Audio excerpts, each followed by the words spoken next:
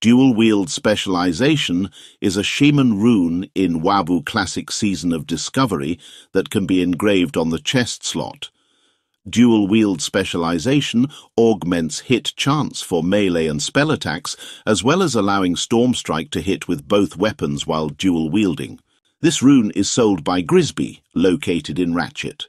In order to purchase this rune, Grizzby will require you to complete the following quests. Shredder turbochargers. You will need to bring Grizzby 16 Shredder turbocharger. These are acquired by using Shredder Auto Salvage Unit on Venture Co., Shredders in the Windshear Crag, Stonetalon Mountains, Dark Iron Ordnance. You will need to bring Grizzby 20 Dark Iron Ordnance.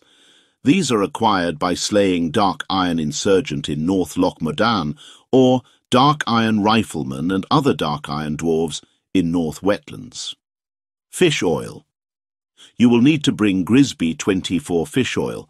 These are acquired by slaying Murlocs in Hillsbrad or Wetlands. You may also use the auction house as these items are fairly common. That's it. Thanks for watching. Like and subscribe for more videos.